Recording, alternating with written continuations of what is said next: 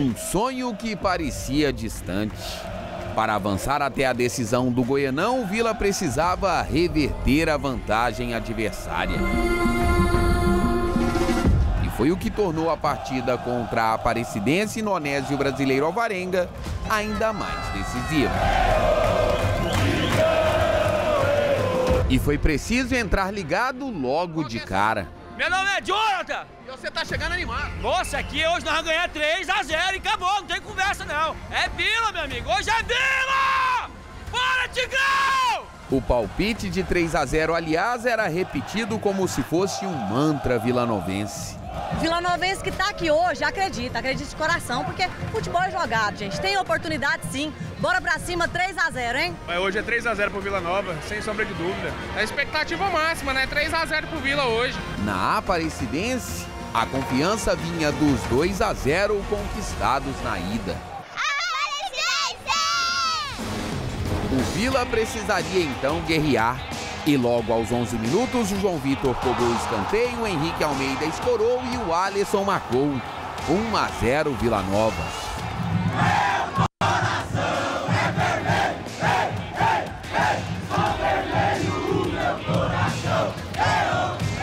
Menos de cinco minutos depois, o Henrique Almeida colocou o Estevão cara a cara com o Pedro Henrique para fazer Vila Nova 2 a 0.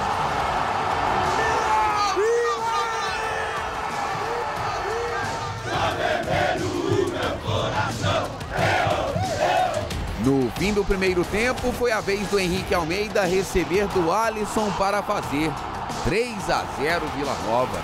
Explosão de alegria no Oba. A torcida mal esperou o intervalo para entrar no ritmo da decisão.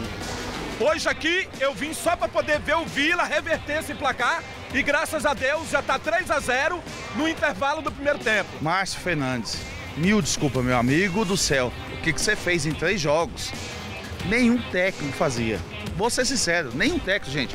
Vamos ser sinceros. A turma do Mateuzinho Fofão tava até querendo mais. Vila vai fazer quatro gols porque eu tenho quatro anos. Mas o quarto gol acabou não saindo.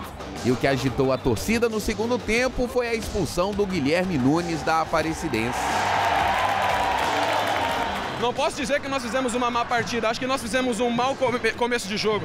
Acredito que eles fizeram uma grande partida, eles fizeram valer a pena o mando. A torcida foi um 12 segundo jogador desde o início. E no final, todos queriam mesmo era comemorar a passagem para a decisão.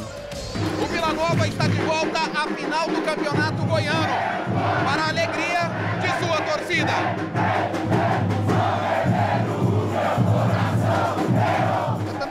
filho. Bora fazer só vapo. Só vapo. Como é que é? Repete. Só vapo. É vapo.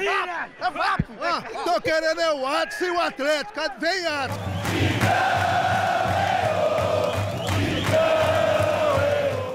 Já começaram as provocações. Salve, salve, galera. Aquele abraço. O Vila Nova está na decisão do Campeonato Goiano com todo o merecimento do mundo, Marcelo Borges. Bom Sem dia. dúvida, Arthur. Um abraço a você, pro pessoal de casa.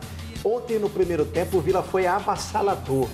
Foi perfeito, engoliu a Aparecidense. E eu concordo com o torcedor. Isso se deve pela chegada do Márcio Fernandes. Quem acreditava nesse potencial? Na reviravolta do Vila contra o Goiás, porque ele chegou dois dias antes, e nesse jogo contra o Aparecidense, que o resultado era adverso. Cara, a torcida do Vila merece. O Hugo Jorge Bravo, que faz uma, uma administração de excelência, Arthur, eles merecem esse momento, cara. Que espetáculo! Sabe quem vai ganhar com isso?